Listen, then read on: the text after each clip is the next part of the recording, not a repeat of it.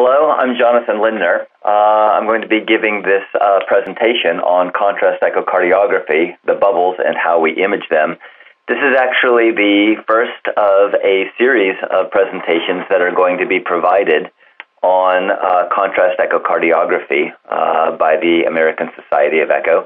Uh, the topics range from the basic principles of contrast uh, agents and how we image them, which is this lecture, but subsequent uh, lectures are going to be given on clinical applications of contrast uh, echo, as well as how to seamlessly incorporate the uh, technology into the uh, busy echocardiography laboratory. So please be on the lookout for uh, subsequent uh, lectures that are being given on this topic. I'll first begin with my disclosures, which are listed here. Um, one thing we will be talking about in this presentation are uh, off-label uses of uh, contrast in the practice of echocardiography. Here are our learning objectives uh, for this uh, program. Number one, to explain microbubble contrast agents, to explore the, the contrast-specific imaging technologies that have been developed and that are on uh, most commercially available ultrasound systems. Uh, we're going to also review how to optimize images.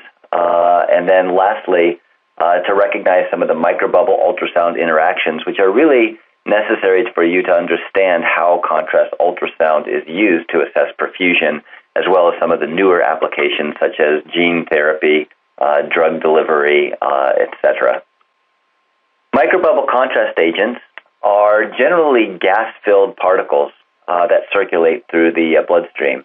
This is microscopy just illustrating a contrast uh, agent. Uh, note on the uh, lower left is a, uh, a scale showing you a 5 micron bar. Uh, and please observe that most of these microbubble agents that have been developed for human use are smaller than the size of 5 microns to allow them pass through the smallest blood vessels of your body. Now, ultrasound contrast agents have been approved worldwide for various applications. Uh, in the United States, really our only uh, approved application is to opacify the left ventricular chamber and to improve the delineation of LV endocardial borders so that we can better assess wall motion, left ventricular volumes, uh, masses in the heart, etc. Uh, other countries have other applications that involve liver imaging and even uh, bladder imaging, uh, but those have not been approved in the United States. Now, listed here there are some images that essentially show you, uh, at a most basic level, what these contrast agents are used for. On the left-hand side, you can see the what we typically think about in terms of contrast applications, which are taking essentially a bad image, one that is really too poor to be able to interpret what left ventricular size, left ventricular function is, and the administration of contrast uh, allows us to be able to see the endocardial borders much better to get a better indication of exactly what LV systolic function is, both on a global as well as regional basis. Now, on the right side um, is another uh, essentially approach to contrast ultrasound, which is not necessarily taking a horrible image and making it interpretable, but taking a mediocre image where on the left-hand side, you can see that uh, you can there are subtle clues that left ventricular function is probably normal. The, the descent of the mitral annulus looks uh, pretty normal.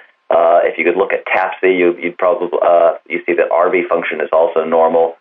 Uh, the EPSS of the mitral valve may be normal, but really we're not able to to, to see certain portions of the heart, like the lateral uh, left ventricular borders.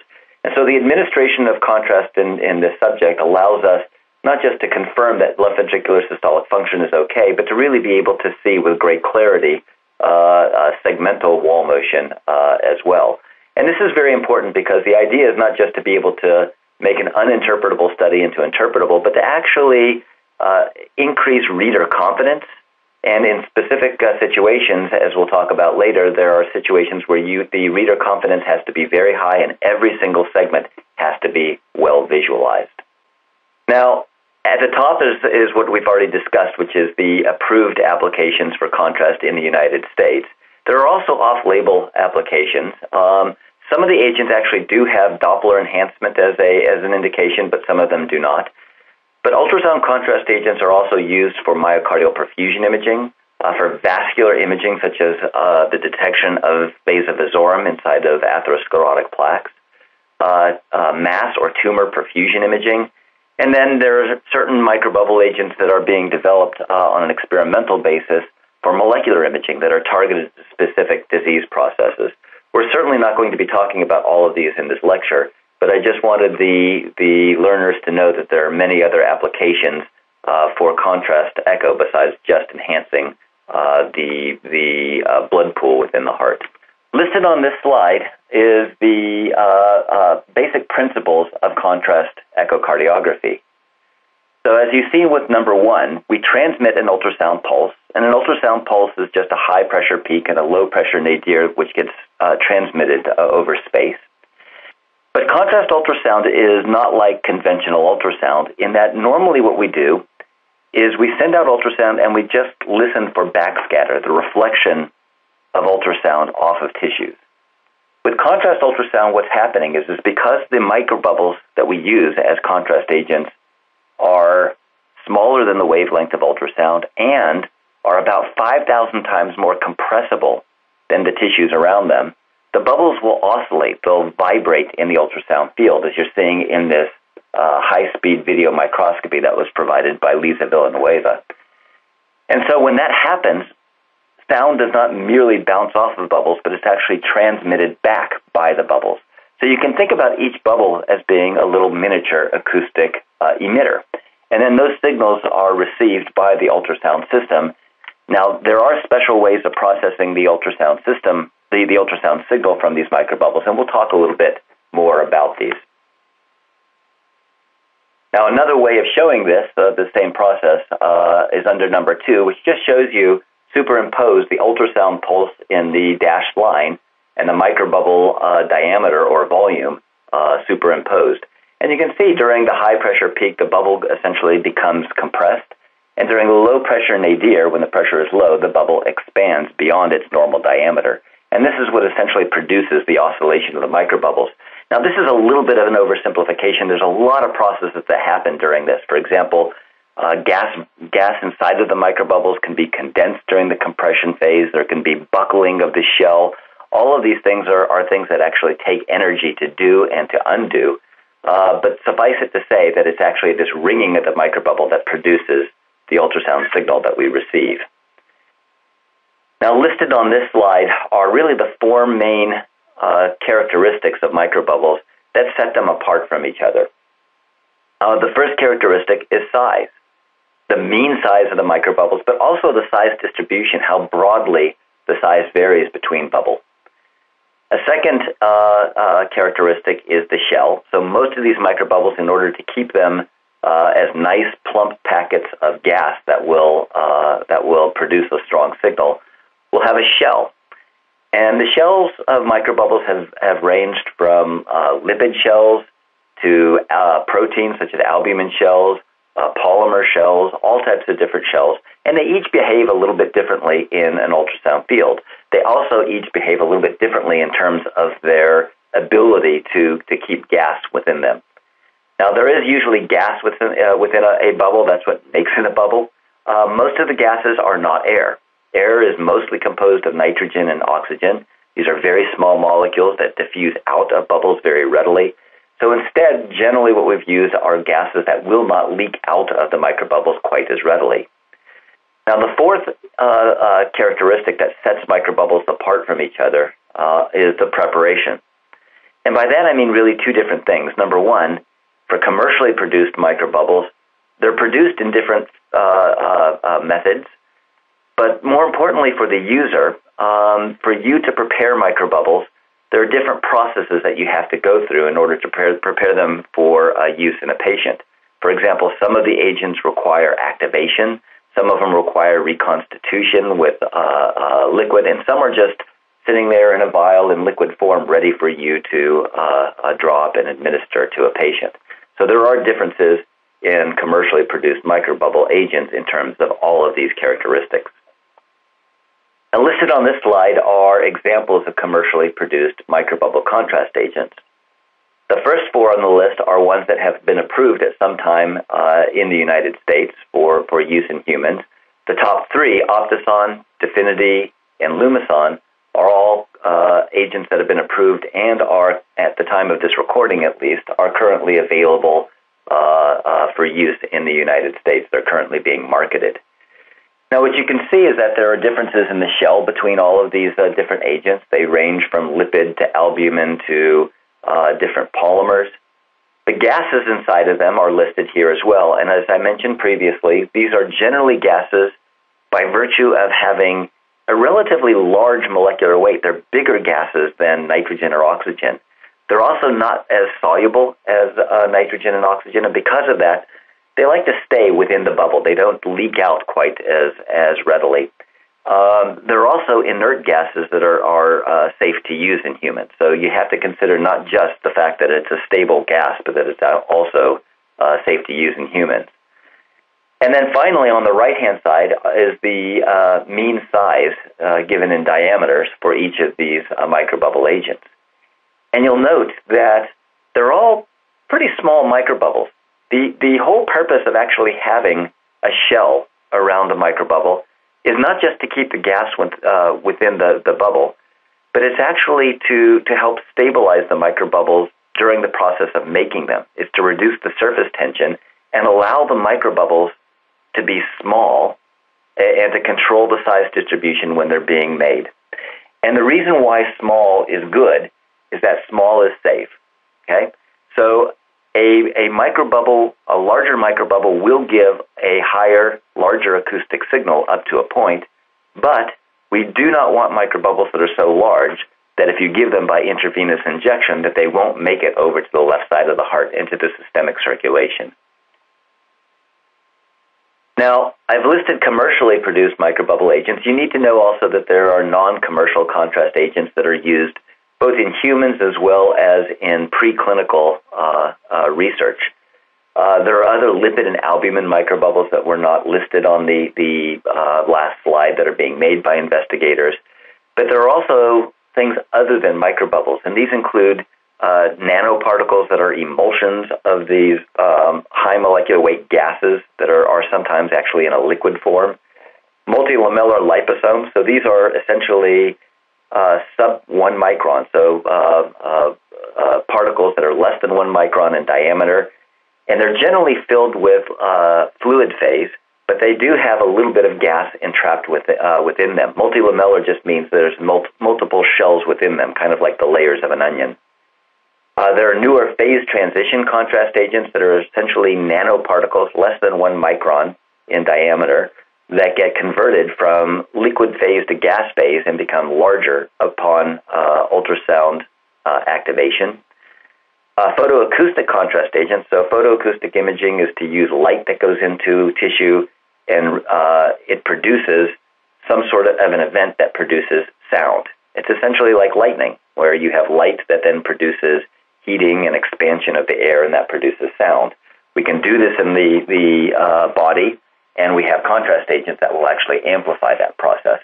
And then, as I mentioned earlier, there are targeted microbubbles that are, are being made for molecular imaging, which we will not talk about uh, today.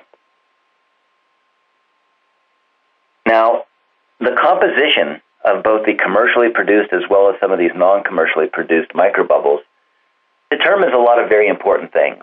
One of which is the stability. And by stability, I mean uh, after you bought an agent, how, how long is its shelf life? But also in vivo stability. When you inject in these contrast agents, how long do they circulate in the bloodstream? And how long do they, as they're circulating, do they remain acoustically active and detectable? There's also practical issues, that is, steps to preparation before you inject them into a patient. So the different microbubbles, by virtue of their composition, may require you to do different things to get them ready for human use there are safety issues. Uh, the behavior in the, the, the microvascular micro, microvasculature is different between the different contrast agents. And actually, the SNR, the signal to noise ratio, how much acoustic oomph you get from these microbubbles, the signal you get, really varies according to all kinds of uh, differences in the microbubbles, such as the gases or the shell or the size of the microbubbles, as well as their acoustic robustness, which means essentially how hard do you have to drive microbubbles uh, to, to make them ring so that you can detect their signal. Now, one basic principle of uh, microbubble agents, both in terms of their safety, but also in terms of your ability to prefer, perform perfusion imaging, is that their size must be small enough to pass through the microcirculation, and they cannot, to a large degree, stick to anything in the microcirculation, such as to, to endothelial cells.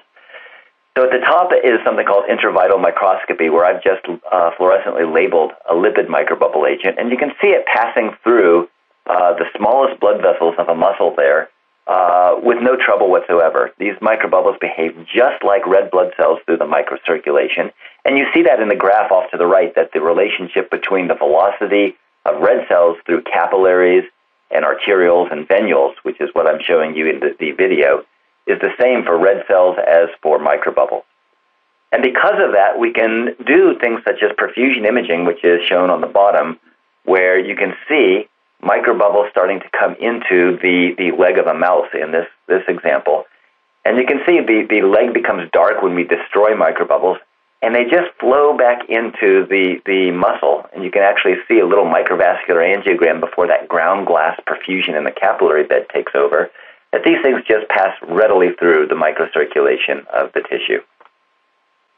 So, in order for the microbubbles to do this, they have to be small. So, the smallest blood vessels of your body, the, the, the capillaries, in a human, they're about anywhere from about five to seven microns. So, most microbubble agents have a mean diameter that's less than five microns. Now, that doesn't mean that all microbubbles look the same. So on the top, I have uh, two examples of two different microbubbles that I've, met, I've uh, analyzed with a Coulter counter. On the left is bubble A, and you can see that it has a, uh, a mean diameter of 1.8 microns. But if you look at the distribution of bubble sizes, you can see that as we approach one micron, which is the detection threshold for this technique, that the bubble diameter keeps on going up as you move from right to left. That means that there's a ton of microbubbles that are actually smaller than one micron, which we call nanobubbles. These are, are less detectable. They don't, they don't produce as strong of an acoustic signal, and they're a little bit less stable in the microcirculation. They tend to dissolve a little bit faster because of high surface tension. Okay? On the right is bubble B, and that's a little bit more what we call monodisperse. Okay? The bubble A is polydispersed. Bubble B is a bit more monodispersed, where there's a kind of narrow peak right around two microns. And you can see these two microbubbles have about the same mean diameter, but their distributions are a little bit different. Okay? On the bottom, on the left, you can kind of see the polydispersed microbubble agent uh, A, where there are big bubbles, medium bubbles, but a lot of very small microbubbles as well, going down to the, the uh, nanobubble range. And on the right is uh, from a publication where they've made a very monodispersed microbubble population. All the microbubbles look exactly the same uh, through almost an inkjet uh, uh process of producing uh, uh, these bubbles. Now, the advantage of, of using Bubble B may be that you know how these things are going to behave and you can tune your ultrasound exactly to the right frequency and, and pulsing mode to detect that microbubble. The issue is that with bubble A, it may be polydispersed, but that may be a little bit better if uh, if you're using different ultrasound systems and aren't necessarily tuned exactly to where you want to see with a, a monodispersed microbubble agent.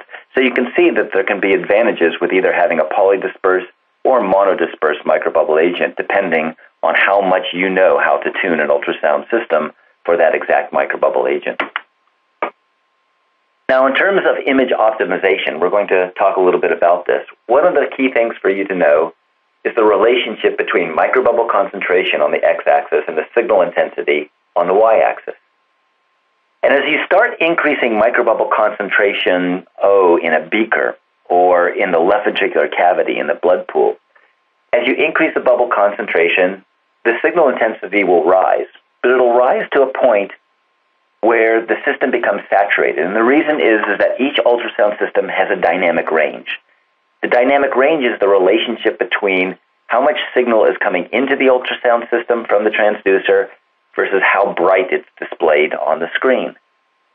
And when your bubble concentration becomes too bright, you really don't, it becomes too high, you don't gain anything more by increasing bubble concentration further. it just becomes very bright and stays bright. If you keep on increasing microbubble concentration, eventually your bubble concentration will become so high that it'll block ultrasound from going through it, and that's called attenuation. And so essentially what you want to do when you're giving these ultrasound contrast agents is really to use things in the optimal range where you are not producing complete system saturation and certainly not creating any attenuation. The optimal range is also even more important when you're doing perfusion imaging, where you want to look for different amounts of microbubbles in different parts of the left ventricular myocardium. In this example, you can see that there is the concentration of the microbubble contrast agent is too high. You're filling in the left ventricular apex, but what's happening is there's all this shadowing, this, the, the darkness of the basal portion of the LV that's essentially obscuring the basolateral wall.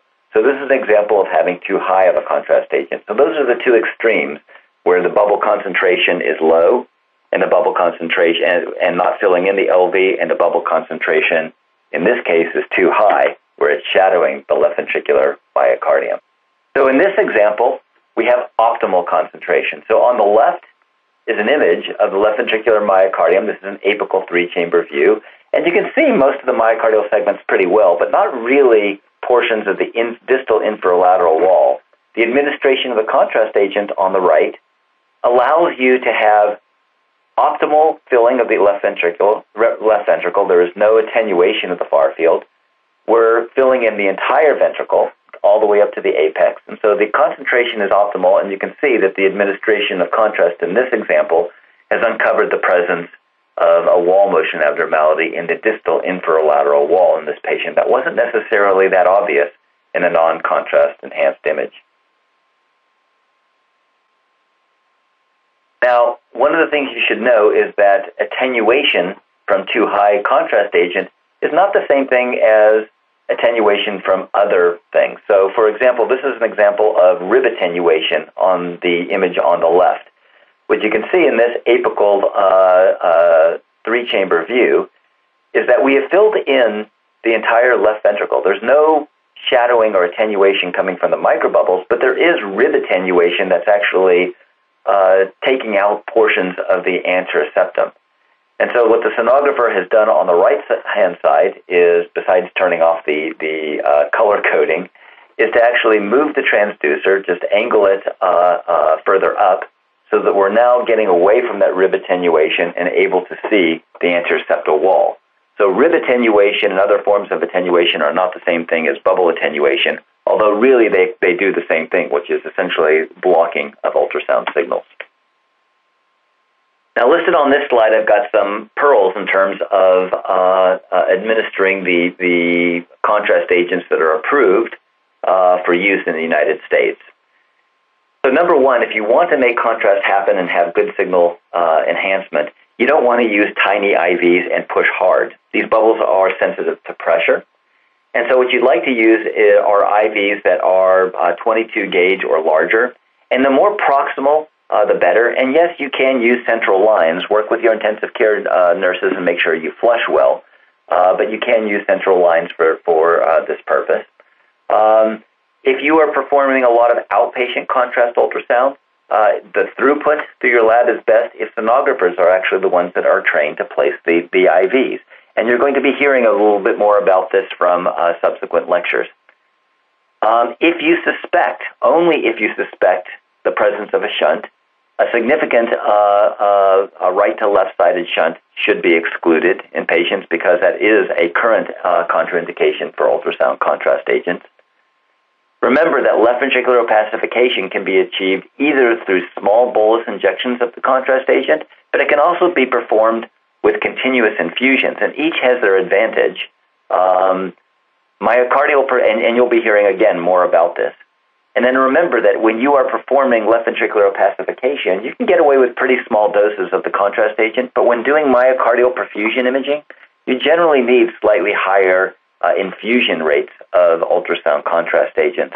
And I use the term infusion rates because generally you should be using uh, um, pump infusions of ultrasound contrast agents uh, when doing myocardial perfusion imaging because it keeps the concentration of microbubbles steady in the blood pool. Now, how do we actually detect microbubbles? So I mentioned previously that the ways that we detect ultrasound contrast agents is a little bit different than just standard backscatter. So the, the, the image on the left, the video clip, is from uh, Peter Burns, as is the, the uh, frequency amplitude histogram on the right from a microbubble agent. And what you can see is that the microbubble, when you ring it with ultrasound, will, contra- will uh, compress and expand but often, if you hit the microbubble hard enough with ultrasound, high enough pressure, it'll actually respond non-linearly. Non-linearly just means that essentially the, the diameter or the, the volume of the, the ultrasound microbubble agent is not necessarily linearly related to the pressure applied. Um, the, you can see that from the uh, pressure versus radius uh, curves that are at the bottom of that video clip. And when this happens, when the bubbles ring non-linearly like this, they actually produce a lot of very strong harmonics. And you see that on the right with all of these peaks. This is the signal that's coming back from an ultrasound contrast agent that was struck at about 2.75 megahertz. So you see the strongest peak is at the fundamental frequency, the frequency that was sent. But you have these multiple different peaks at multiples of the transmit frequency, which are called harmonics, as well as half the send out frequency, which is the subharmonics.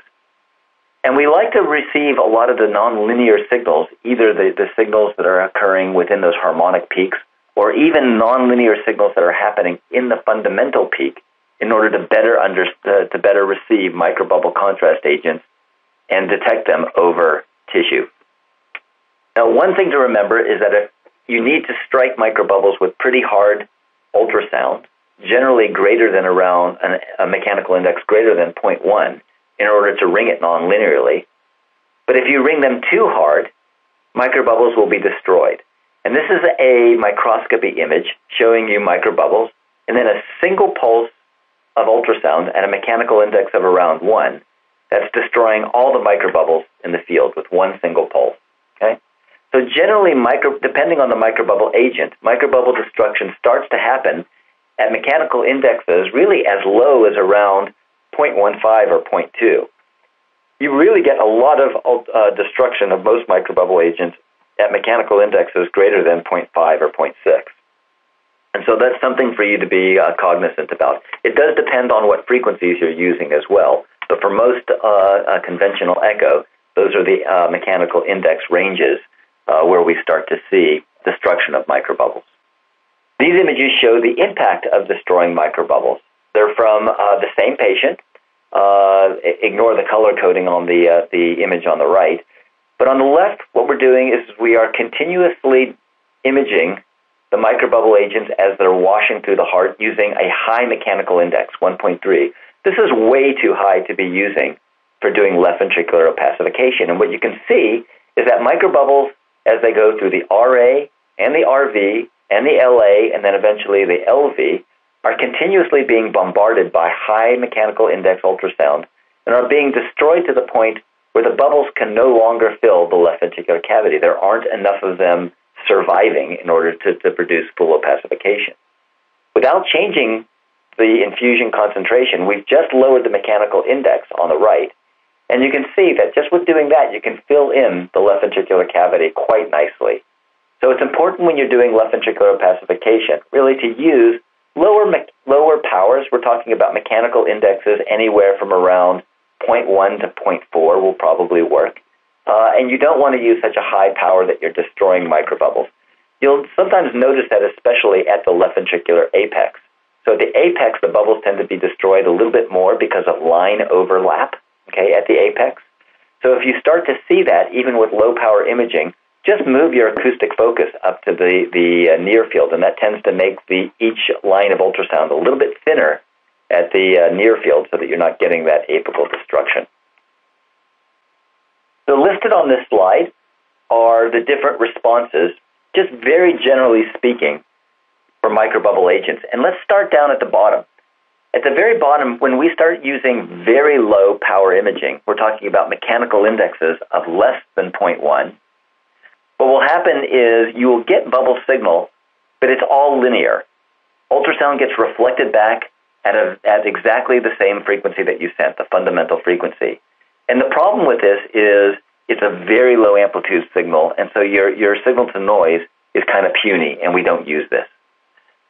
Next up is low power imaging, which is anywhere, mechanical index is anywhere from 0.1 to 0.3. When we do this, the microbubbles will oscillate in a nonlinear fashion and start producing those nice rich harmonics that we can actually use uh, to detect signal uh, the signal from microbubbles with, with uh, a nice robust uh, signal to noise ratio. At the high power up at the top, that's where we get our strongest signals. Okay, so when these pulses come in, they not just ring the microbubbles in an incredibly exaggerated fashion, but they tend to destroy the microbubbles. And when the microbubbles are, are disrupted, this is also called inertial cavitation. They produce very strong harmonics. They produce actually a very strong broadband signal, signal even between the harmonic peaks. And that's great. It, actually produces very strong signal, and we still use these types of imaging modalities in certain applications. But the problem is for left ventricular opacification, you destroy the microbubbles uh, too much to be able to, to actually fill in the left ventricular cavity. Okay? And so the problem with high power imaging up at the top is that if you're using continuous infusion, you get no contrast effect because you're continuously destroying and bombarding it.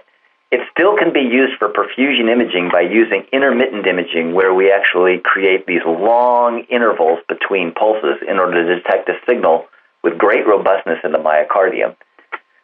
More often than not, though, we're actually using these days low power imaging where we can ring the bubble, microbubbles in a nonlinear fashion and produce these, these harmonics. The problem with this is the acoustic signals are relatively low compared to the high power image, image and there's a lot of heterogeneity in the signal within the ultrasound field. You know, an ultrasound field, you, you look at a sector of ultrasound, and actually, the power is not homogeneous throughout the whole uh, uh, sector. And so you tend to get sweet spots in the middle and drop off near the edges. And so imaging methodologies have been developed to better detect signal to noise of microbubbles over tissue. And that's illustrated here in, in this uh, diagram. So when we're using high mechanical index imaging and we're ringing the microbubbles and destroying them, as you see here in the light green, the bubble signal very broad band. You see those harmonic peaks, kind of where the tissue harmonics are as well. So in the dark green are, are tissue signals, and you can see the harmonic peak uh, at uh, twice the send out frequency. For the bubbles, you get those same peaks, but you also have a lot of signals in between. And that's because of the broadband signal produced by bubble destruction. And because of that, I've drawn arrows at different areas where it may be possible to detect the microbubbles and get very low tissue and very strong bubble signal. And this is what we're trying to do with contrast ultrasound, especially with perfusion imaging, where we are trying to detect the microbubble signal and really drop out all of the signals that are coming from tissue. Now, with low mechanical index imaging, you'll see that the signals for both bubbles and tissue are lower. Now, in order to actually really get very good, robust signal to noise ratio, we generally have to image bubbles at the harmonic peaks or at the fundamental frequency peak. So the two arrows that I've shown here. And in order to really improve signal to noise ratio, it's really ideal to get rid of every single drop of that tissue signal. And so I'll show you a couple of slides demonstrating exactly how we get rid of the tissue signal. First, this is essentially what it looks like when we've gotten rid of tissue signal. These are two different images. One is from a heart, imaging the, the uh, myocardium in a short axis. The other is the image that I showed earlier of a mouse leg. And what we're doing is we're looking at bubbles in the left ventricular cavity on the left, but also in the myocardium. And you can see, you're going to see a little flash here, which is a destruction, destructive pulse. So it's a high mechanical index pulse, and you'll be hearing more about this in a subsequent lecture on perfusion imaging. But in order to do perfusion imaging, we have to wipe out all the bubbles in the tissue and watch how fast they come back in. So after the destructive pulse, you can see that the myocardium becomes completely black. The skeletal muscle on the right also becomes completely black, so that every drop of signal that you see in there is coming from the bubbles. So in order to do this, we have to eliminate bubble uh, signals that are being reflected back from the tissue. And because of that, ultrasound uh, manufacturers have developed these uh, algorithms that will subtract out tissue signal but leave behind the bubble signal. And there's two major approaches by which they've used to do this. This is one of them. This is called pulse inversion imaging. And generally, with pulse inversion, or sometimes called phase inversion imaging, what you're doing is you're send, sending a series of ultrasound pulses that are mirror images of each other. So you can see pulse A and pulse B are 180 degree phase shift. They're mirror images of each other. So on the right hand side, if you have tissue, if A and B just get reflected back from tissue, if you add those two things together, those two pulses as they've come back, they subtract out. And the reason why this happens is that tissue produces mostly linear backscatter when using low power ultrasound. At the bottom are all the nonlinear signals that come back from microbubble contrast agents. And so these are a little bit less predictable. Um, they, they do not come back looking exactly like A and B. And so when you add these together, they do not subtract out and you start detecting microbubble signal. So this is one way of getting rid of the tissue signal and leaving behind the nonlinear signal coming from the microbubble. A second way of doing this is something called power modulation or amplitude modulation imaging. And here you can see there are two pulses. They are not mirror images of each other. They're actually the exact same pulses, except pulse A comes in with low power, which remember produces linear and nonlinear signals. Pulse B comes in at very low power imaging, which should only produce linear signals. So if you have tissue that just reflects, t- reflects back ultrasound at these types of, of powers, if you look at the right hand side at the top, if you take A and you subtract out 2 times B, they will eliminate each other. However, if you have a bubble in the uh, tissue, A the low power pulse will produce those nonlinear signals. B, when you hit it with very low power, if you remember, produces just linear signals, so it just comes back looking like the ultrasound pulse. And you can multiply that times two and subtract it from A, it does not subtract out. Okay? So those are the two major approaches that we use in order to really get those nice, robust uh, uh, bubble signals without much tissue signal. So when putting all of this to practice, we're producing left ventricular opacification, often uh, abbreviated LVO. The ideas are you need lots of bubbles in the LV cavity, okay? And if, as long as you're doing that with a good infusion rate or a good microbubble dose, and your your mechanical index isn't too high, it's, your your machine settings don't need to be absolutely perfect. Okay, it's very forgiving if you're using medium to low mechanical indexes it's a very forgiving process, so you don't have to do a lot of knobology. One of the ideas when you're doing left ventricular opacification is to make the cavity bright and the myocardium dark.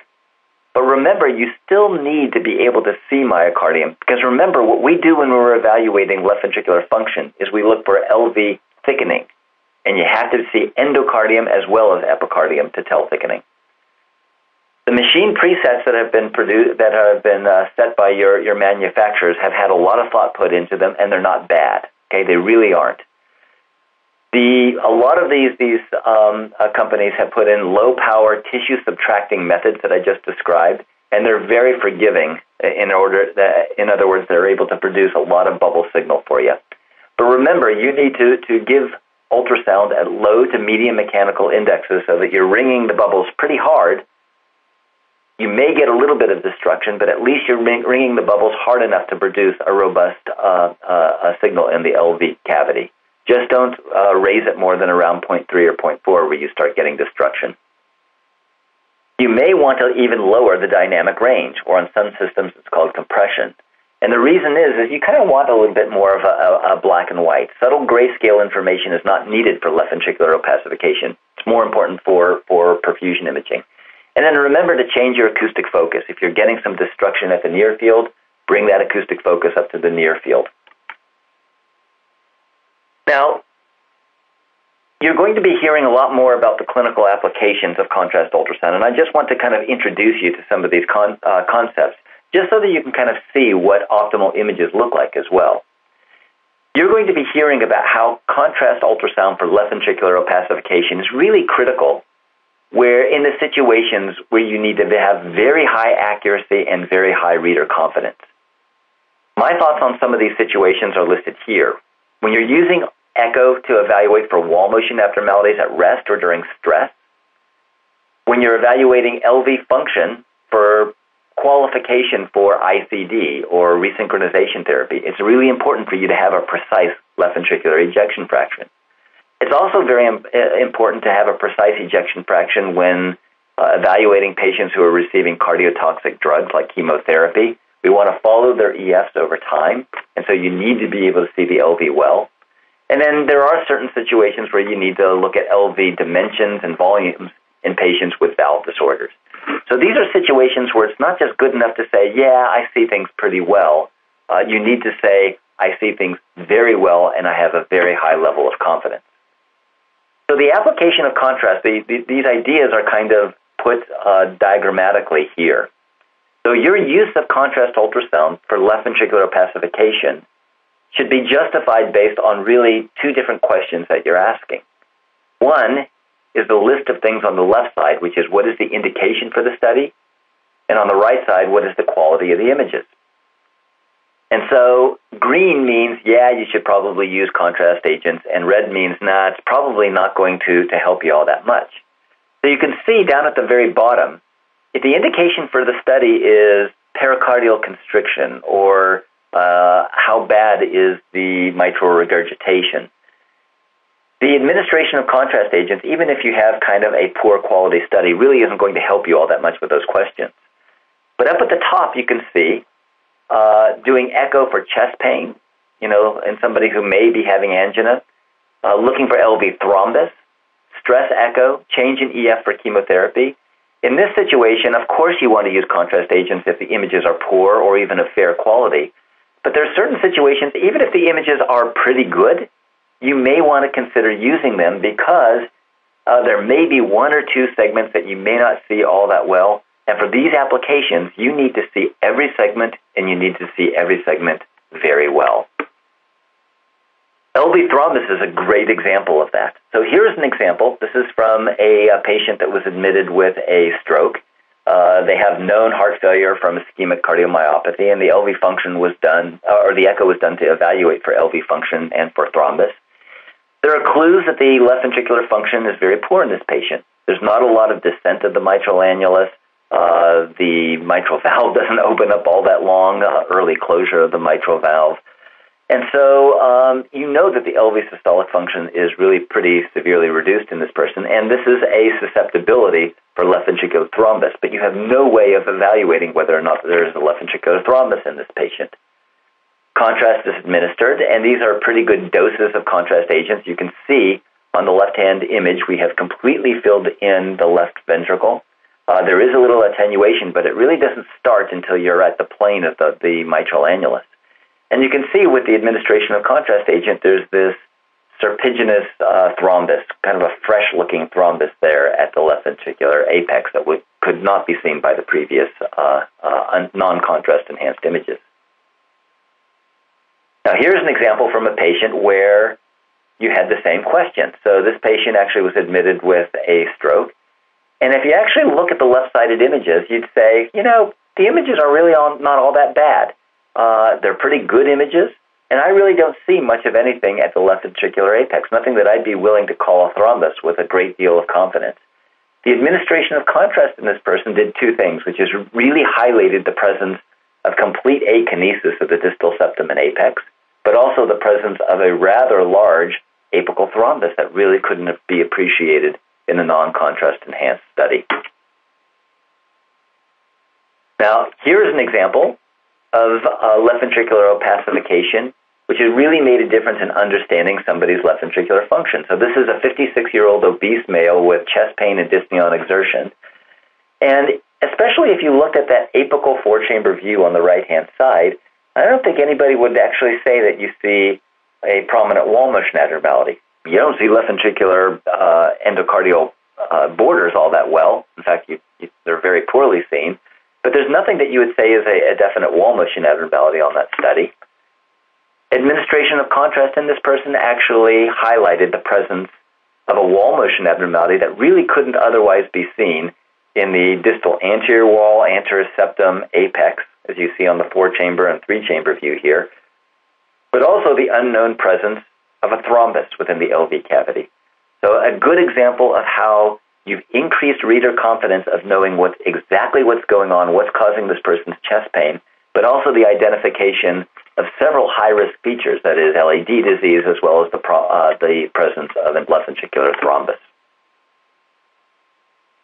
So, these are some of the the uh, the um, applications of contrast for left ventricular opacification, and you'll be hearing more about these from the uh, subsequent lectures. You'll also be hearing a little bit about myocardial perfusion. The myocardial perfusion is used for a lot of different things. These are listed on this slide. Uh, mostly ischemic heart disease for diagnosing acute coronary syndrome or presence of ischemia during stress echo, uh, the presence of microvascular no reflow after uh, an intervention for ACS. So there's a lot of applications that you're going to be hearing about. But it's important for you to know that the that that in order to do myocardial perfusion imaging, you have to know a little bit about the microcirculation and the interaction between ultrasound and microbubbles within the microcirculation. So when imaging with for for myocardial perfusion with contrast ultrasound, most of what we're imaging is the stuff within the myocardium. So the blood volume of, of the, the circulation of the heart, the coronary circulation, the arteries and the veins are mostly on the surface of the heart where we're not looking at. We're looking mostly at the stuff within the muscle, which is mostly the microcirculation, which makes up generally about 5 to 8% of the total mass of the heart. It can go up as high as 15% during stress. And most of that is actually in the capillaries. And so in the middle there, you can actually see a capillary bed, and you can see that, the, that most of the blood volume that you see within this uh, small little area here at the heart is actually in the small blood vessels, the smallest blood vessels, which are our capillaries. And that's pretty much what we are imaging when we're administering microbubble agents and they're passing through the circulation within the heart muscle itself. And so when we do perfusion imaging, and you'll be hearing more about this, the principle is to destroy microbubbles within that microcirculation. And in this video clip, you see that as that flash that comes in that makes the myocardium dark. So we are using one of these these um, uh, image processing systems that drop out all of the signal from the myocardium itself, and all you're seeing is the bubble signal. So the big flash you see there is the destruction of microbubbles, and then you see them coming back into the microcirculation. And the way that we quantify perfusion is to look at this replenishment phase. So to quantify it, we measure both the rate of replenishment as well as how bright it eventually gets. Okay? Now, in order, and, and the curve off to the right kind of shows you what this, this looks like. Generally fit to a 1 minus exponential curve. In order to accomplish this, you have to set up your ultrasound system in a specific way that will allow you to produce that flash of ultrasound that you see there at a high enough mechanical index, generally greater than a mechanical index of 0.9, but then also set up your imaging so that after the flash, you're detecting microbubbles with a high signal to noise ratio to be able to detect their subtle wash in back into the microcirculation at lower mechanical index. And that's what I tried to give you here by this lecture, to, to give you a little bit of, of uh, information of exactly how microbubbles act in an acoustic field so that you can do things like this, which is to destroy bubbles at high mechanical index, but also to see them come back in at a lower uh, mechanical index. And you'll be hearing about how to, to use perfusion imaging to detect coronary artery disease and acute coronary syndromes. But there's lots of other little subtle features that you can get out of knowing this relationship between ultrasound and microbubbles. And this is an example. This is apical hypertrophic cardiomyopathy.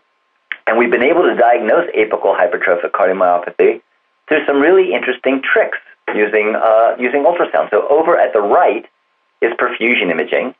And you can see that the mechanical index is low, 0.1. And you can see that there is signal in the myocardium. You'll see a destructive pulse that wipes out all the bubbles. And then you can see all the bubbles come back in so that we can be assured that this is all muscle that's being perfused. But if you look to the left, we've raised our mechanical index up to about 0.27. And what that does is it actually is a medium mechanical index that destroys microbubbles in the smallest blood vessels of the heart. So if you increase this mechanical index to a medium level, bubbles are continuously being destroyed okay, with this medium mechanical index. But the ones that are moving slower get destroyed more because they're exposed repetitively to ultrasound. Bubbles that are moving fast through slightly larger vessels in the heart move they move faster and they don't get destroyed as much because they're they're continuously being replenished by the faster velocity in them. And so by using this medium mechanical index, you can actually bring out the, the presence of these big intramyocardial arteries or, or large arterioles that are very characteristic of apical hypertrophic cardiomyopathy that allow you make the diagnosis in this case. So just one example of how knowing some of the tricks of uh, interaction of bubbles with ultrasound allows you to do some of these, these interesting uh, things. I'll finish up with just some safety issues. Who should not receive contrast?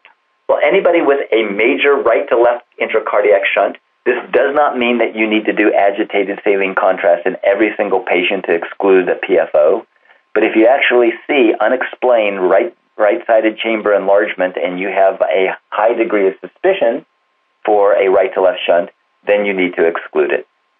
If there is an allergy uh, to either the contrast agent from before or allergy to blood products for any agent that's made of albumin, in this country that means Optison, you're not allowed to use it for arterial injection, although it is used off label for that for hypertrophic cardiomyopathy when we're doing septal ablations. And then there are some relative contraindications as well that include pregnancy, religious reasons, patient refusal, of course. Pulmonary hypertension, it's now been shown that pulmonary hypertension is pretty safe to use these contrast agents. Uh, just be aware that you should probably be mindful of the amount that you're using. If you use a ton of it very rapidly, you can slightly increase pulmonary artery uh, systolic pressures, uh, but it, the, the, safety studies actually have now shown that it's safe to use in people with significant pulmonary hypertension. Uh, just be very judicious with its use. Uh, the safety of, even though there, there was a black box warning put on many years ago to, to on these uh, contrast agents, many of the, much of the teeth of these the, this black box warning have been uh, taken away, have been removed. Uh, and it's on the basis of a lot of studies that have been uh, shown by people who, who have been leaders in, in this field uh, of the safety of these contrast agents. This is just some of the, uh, the results from one study uh, with one agent, uh, Definity in this case, that actually showed that of 66,000 doses of Definity and 12, excuse me, this is Definity and Optison, the title is incorrect. the severe reactions really only occurred in about eight patients, which means about one in 10,000. It's the safest contrast agent actually that's used for any imaging uh, imaging modality. Um, these imaging reactions were, were considered to be what's called anaphylactoid. That means it's a allergic reaction that does not involve IgE. There were no deaths, um, and there were, interestingly, there were no none of these events in anybody with possible ACS or heart failure. There was a concern that hey, is the safety uh, profile of these uh, a little bit more worrisome in people who are more critically ill, and that didn't seem to be the case. So really, you're going to get a really severe reaction in about one in 10,000 patients, which is very un- uncommon. Again, this is what's called pseudoanaphylaxis, which means it's not mediated by IgE. All microbubbles have the potential to activate complement at their surface. Most of these have been found with the lipid uh, contrast agents and certain lipid contrast agents. Um, a lot of it is not just because it's a, it's a lipid, but also that there's a charge on the surface of these microbubbles. And what that does is it actually produces complement activation on its surface.